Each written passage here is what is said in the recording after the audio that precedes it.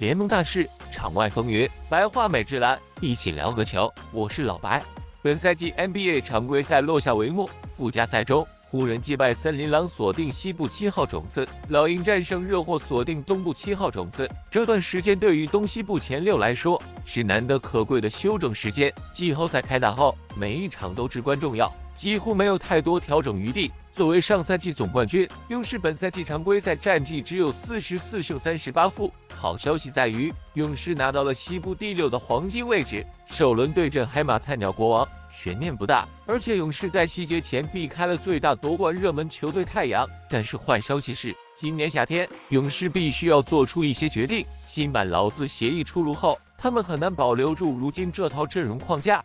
从一则不起眼的新闻说起，追梦格林在做客某档播客节目中时，被问到自己的未来时回应：“我已经在金州打了十一年，在这里我做了能做的一切，为什么我要离开去别的地方，重复做同样的事情呢？我想在这里结束我的职业生涯，这是我一直以来的目标。终老勇士更现实，我只想再打四年，我仍然可以打出高水平，并履行我的合同。至于可能性续约，我说不准。”这也不是我说了算的。如果我能决定，我愿意百分之一百留下。实话实说，勇士在过去八年四夺总冠军，追梦格林的功劳确实很大，脏活累活基本全包，扮演球队更衣室话事人角色，有功劳也有苦劳。从科尔到前防守首席助教布朗，都对格林非常看重。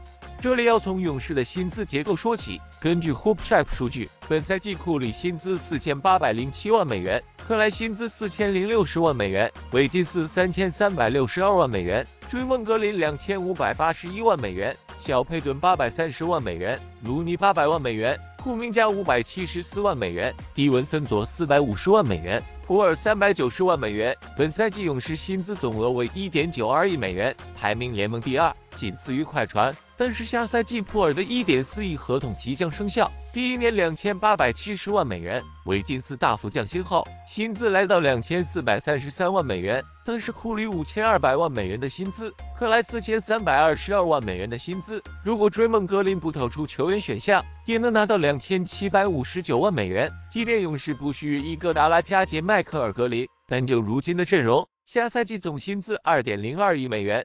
刚刚通过的新版劳资协议将在下赛季正式生效。协议规定，勇士会触发第二层奢侈税级别，薪资总额超过奢侈税线一千七百五十万美元，很多东西都要被限制，无法使用迷你中产特例，不能在交易中使用现金，不能交易未来第七年以后的首轮，不能签约买断后的球员。勇士被迫套上一把枷锁，而对于格林来说，这几乎阻断了他的顶薪幻想。去年夏天，追梦格林公开表示不奢求接近两亿美元的超级顶薪，但希望得到一份四年一点三七亿美元的顶薪合同，随即遭到了勇士管理层的拒绝。与此同时，湾区媒体普遍认为，勇士有可能给格林一份三年居薪约两千万到两千三百万美元左右的合同。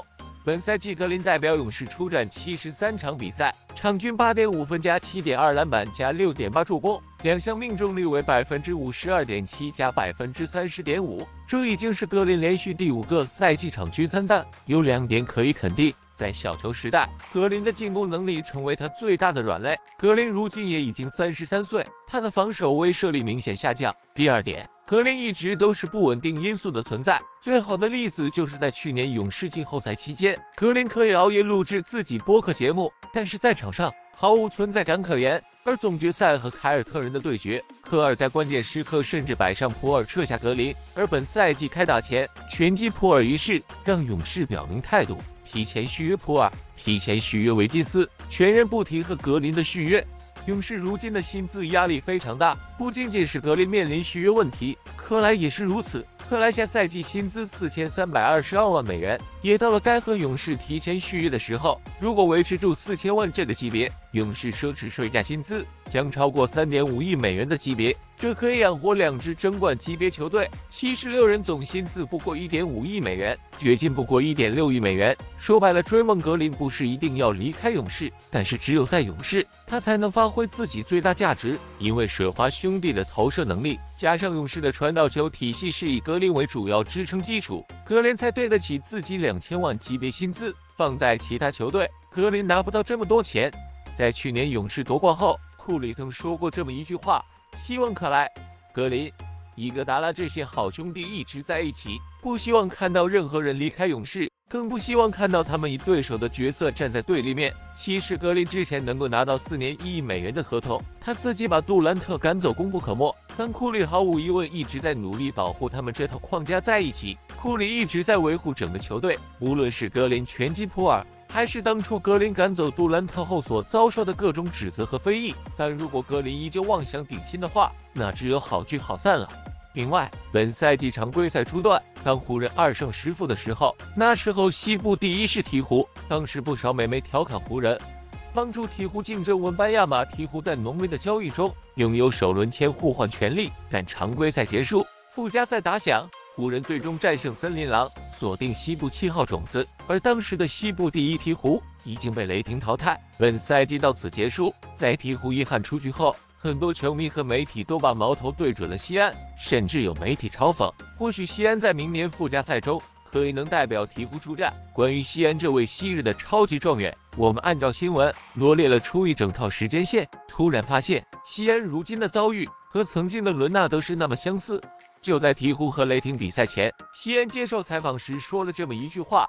阻碍我回归的主要因素，主要是我要克服自己受伤的心理障碍。有些时候，我做一些动作仍然感到犹豫不决。在我真正变回西安之前，我不想出战。西安这番话是为了回击新奥尔良当地媒体的一些质疑声。西安上一次代表鹈鹕出战。还要追溯到今年一月初和七十六人的比赛，那场比赛西安拿到二十六分、六篮板、七助攻，紧跟着就遭遇腿筋伤势。而在过去的三个月时间里，鹈鹕官方连续给出几个关键时间节点：全明星周末后、三月中旬、四月初、四月中旬。简单来说，鹈鹕一直希望西安本赛季能够出场帮助球队。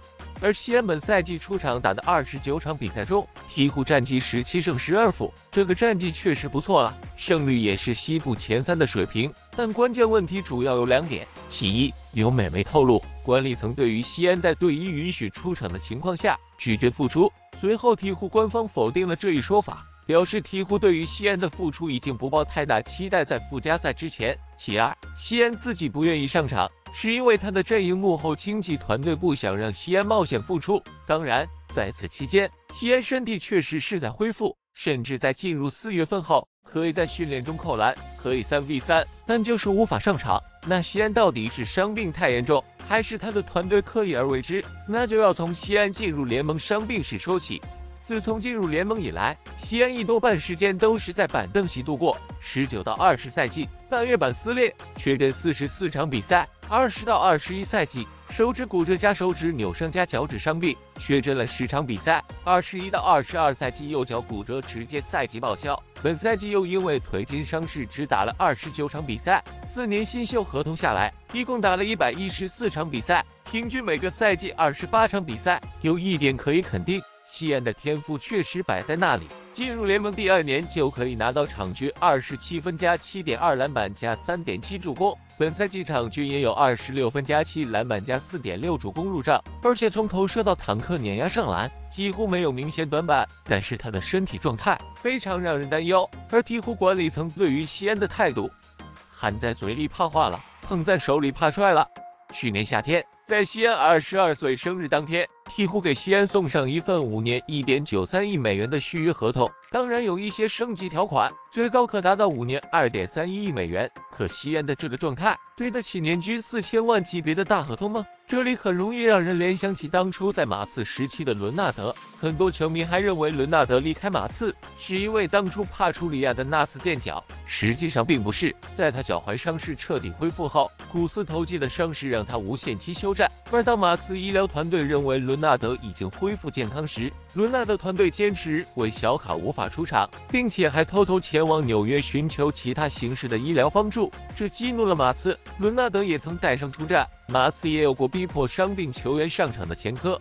站在球员背后团队角度，西安和伦纳德一样，除非在伤病彻底痊愈加身体状态彻底恢复好，否则他们可不愿意让自家球员冒险。但西安和伦纳德不一样的是，伦纳德虽然在马刺最后一年和球队闹得比较僵，但伦纳德无论是在马刺还是在猛龙，都拿到过 FMVP。带领猛龙拿到过队史第一个总冠军奖杯。而西安，他才是刚刚进入联盟第四年的年轻球员，身体就已经撑不住了，就已经和球队站在对立面了。同样有一点值得深思，鹈鹕总经理大卫·格里芬对于西安的伤病前言不搭后语，逻辑混乱。简单来说，西安的经济团队已经和鹈鹕管理层划清了界限，球员健康时属于球队，但凡有一点伤病，那伤病消息直接封锁。毫无疑问，西安的天赋毋庸置疑。但是如今的西安逐渐沦为水货，不是他的实力不够，而是他的身体状态无法长时间高效带领球队前进。这和一些昔日进入联盟后泯然众人的水货状元没有区别，几乎每年都经历大伤，从膝盖到腿筋，从脚部伤势到手部伤势。说到底，他的体重成为限制他走上一线球星的最大短板。在我看来，鹈鹕长痛不如短痛，找个机会送走西安，不然西安会一直成为球队的拖累。